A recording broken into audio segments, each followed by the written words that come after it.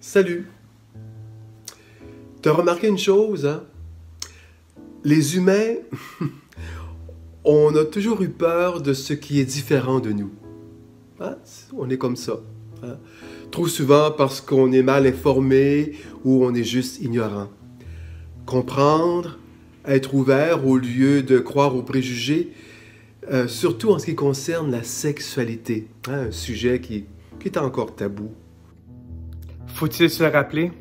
On ne choisit pas son identité sexuelle. Mais il faut choisir d'être fier de qui nous sommes. On ne peut pas juger une personne seulement sur sa sexualité, mais bien sur tout ce qu'elle est, toute sa personne. Moi, je veux être ouvert et compréhensif. Je veux être un allié avec chaque personne, avec les membres de la communauté LGBTQA2S+, sans les juger, sans les changer. Brisons le silence. Parlons-nous ouvertement. On a tous un cœur. Tout ça pour dire une chose, on est tous pareils.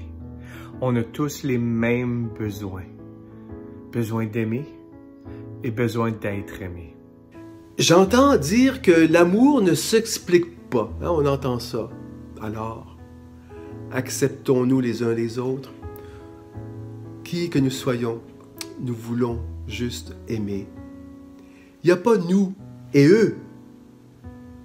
Il devrait y avoir plutôt juste nous tous, tous et toutes, tous et toutes ensemble. Un homme et une femme peuvent s'aimer. Donc, un homme et un homme peuvent s'aimer. Une femme et une femme peuvent s'aimer. Et je crois que Jésus, qui est l'homme de l'inclusion, dénoncerait ce virus qui détruit tant d'êtres humains. L'hypocrisie. L'hypocrisie de certaines personnes qui se, qui se croient justes. On est tous des êtres humains. On a tous un cœur.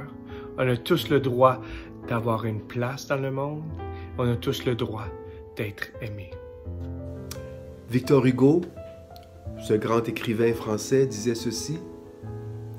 Les plus petits esprits ont les plus gros préjugés. Je rêve qu'un jour que cette journée ne serait plus contre. Cette journée serait pour.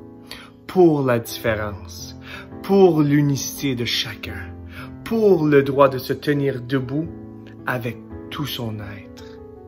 Cultivons l'espérance, oui, cultivons nos différences aussi.